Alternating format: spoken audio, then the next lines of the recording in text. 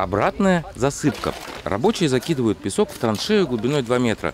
Здесь уже уложены бетонный короб и новые трубы.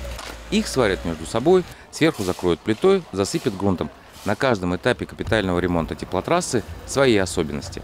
Обратите внимание, как по-снайперски точно экскаватор оставил нетронутый опору ЛЭП и подъезд к детскому саду. Это и профессионализм подрядчика, и постоянный контроль со стороны. Нормально, все сухо, чисто.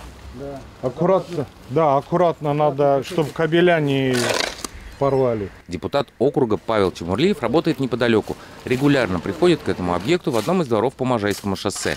Говорит, в этом году теплотрассы наконец начнут убирать под землю. Более 30 лет назад снабжение горячей водой и теплом придумали временно делать вот по таким трубам прямо над дорогами. Теперь эта неблаговидная примета 90-х должна уйти в прошлое. По городу, не только здесь, в разных местах по городу происходит э, вот именно уб- убираем трубы лотки под землю. Это и на Садовой, и на Союзной. Э, Есть определенные адреса, где работают подрядные организации. Трубы тоже новые, с ППМ-изоляцией. Обывательским языком они покрыты вспененным песком. Плюс в том, что так проще найти место порыва трубы. Пластиковое покрытие, которое применяется в других трубах, само набухает и рвется в неожиданных местах. Чтобы найти течь, приходилось снимать всю изоляцию.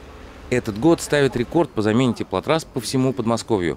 Власти учли опыт прошлой зимы, выделили значительные финансовые средства, чтобы история Подольска не повторилась. В городе Одинцово нам выделено только в теплосеть порядка 200 миллионов рублей для проведения капитального ремонта существующих систем.